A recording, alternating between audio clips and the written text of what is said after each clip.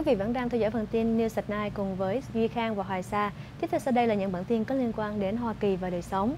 Thưa quý vị, bản tin Hoa Kỳ đầu tiên cho hay em bé sơ sinh đã bị chó cắn chết tại tiểu bang Georgia. Một gia đình cư ngụ tại tiểu bang Georgia hiện đang phải đối mặt với nỗi mất mát lớn sau khi mà con chó cưng của nhân viên coi trẻ đã cắn chết một đứa bé 5 tháng tuổi ngay bên trong căn tư gia. Thảm kịch được cho là đã xảy ra vào tối thứ Ba ngày 12 tháng 6 trong vùng ngoại ô của thành phố Atlanta. Chủ nhân của ngôi nhà đã nhờ một người bạn trông chừng đứa trẻ, tuy nhiên người này đã ngủ quên trong phòng để đứa bé một mình bên ngoài với con chó. Cảnh sát cho biết vào khoảng 3 giờ sáng cùng ngày, em bé đã bị con chó thuộc giống German Shepherd cắn tử vong. Trước đây, con thú chưa từng có hành động hung tợn, nên không được xem là mối hiểm họa của gia đình. Tính đến nay, không có bất kỳ một ai đã bị bắt giam. Con thú đã bị cơ quan kiểm soát động vật chết thuốc tử.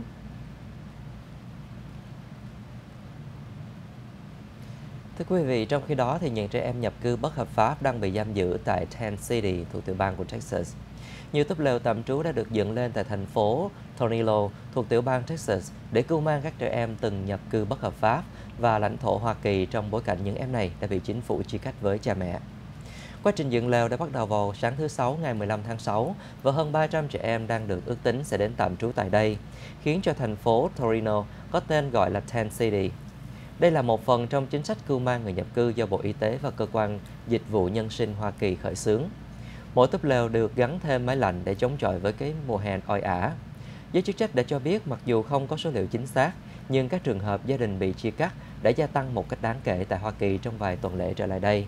Vào tháng 5, chính phủ của Tổng thống Hoa Kỳ Donald Trump từng công bố chính sách không tha thứ đối với những người bị bắt vì tội vượt biên bất hợp pháp, dẫn tới việc các trẻ em bị chia ly khỏi cha mẹ của mình.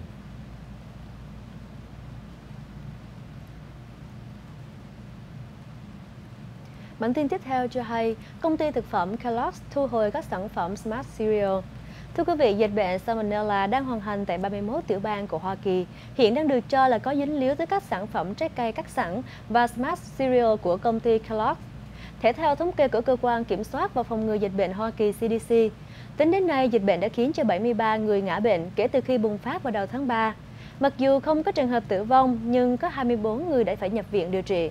Hầu hết các trường hợp ngã bệnh đều được ghi nhận tại các tiểu bang như là California, Massachusetts, New York và Pennsylvania. Các triệu chứng của bệnh bao gồm sốt cao, tiêu chảy và đau bụng. Công ty thực phẩm Kellogg's đã tự nguyện thu hồi các sản phẩm như Smart Cereal bất kể kích cỡ, đồng thời mở rộng cuộc điều tra tương tận về vụ việc này. Trong khi đó, thì tai nạn phi cơ đã khiến hai người bị thiệt mạng tại tiểu bang California. Thưa quý vị, một vụ tai nạn phi cơ đã vừa xảy ra gần thành phố Hesperia, thuộc tiểu bang California vào ngày thứ Sáu 15 tháng 6, khiến cho hai người đã bị thiệt mạng. Nạn nhân đã được xác định bao gồm nhân viên phi công điều khiển chuyến bay. Dựa vào thông tin ghi nhận từ sở cảnh sát, tai nạn đã xảy ra khi chiếc phi cơ vừa mới cất cánh khỏi phi trường Hesperia Airport do đụng phải hệ thống dây điện. Nguyên nhân dẫn đến tai nạn đang được cơ quan hàng không liên bang Hoa Kỳ FAA điều tra. Nhiều nhà người dân đã bị cúp điện trong suốt vài tiếng đồng hồ.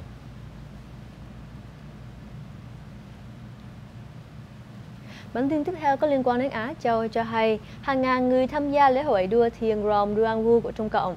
Thưa quý vị, một cuộc đua thuyền rồng đã được khởi động để chào mừng lễ hội Duangwu tại thành phố Tân Dư của tỉnh Giang Tây ở phía đông Trung Quốc vào thứ Bảy, với khoảng hơn 1.200 người tham gia.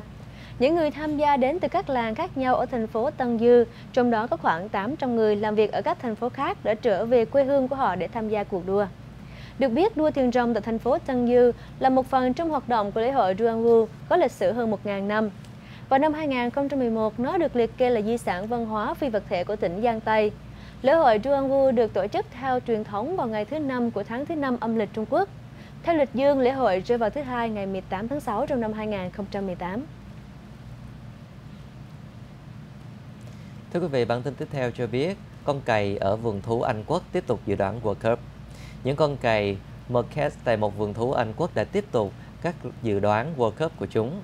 Lần này được cho là dự đoán một chiến thắng cho đội tuyển của Anh trước Tunisia trong trận mở màn vào bảng G vào ngày thứ Hai 18 tháng 6. Các con cày này được ưu ái gọi cái tên là Mystic Mercat, tức là cày huyền bí tại vườn thú và công viên giải trí Grayton Manor gần Tamworth ở Staffordshire để dự đoán thành công kết quả của các giải đấu thể thao trong tuần trước. Xác định chính xác là Nga là người chiến thắng trong tương lai của các trận mở màn của giải đấu với Saudi Arabia. Theo đó, quốc gia chủ nhà Nga cuối cùng đã thắng đến 5-0 vào ngày thứ Năm 14 tháng 6. Từ đó, các fan bóng tại Anh Quốc liên tục theo dõi dự đoán của các cú cây này. Kính thưa quý vị, bản tin vừa rồi đã kết thúc phần tin Hoa Kỳ và đời sống. Sau một vài thông tin thương mại, kính mời quý vị cùng trở lại với các bản tin liên quan đến Việt Nam và giải trí.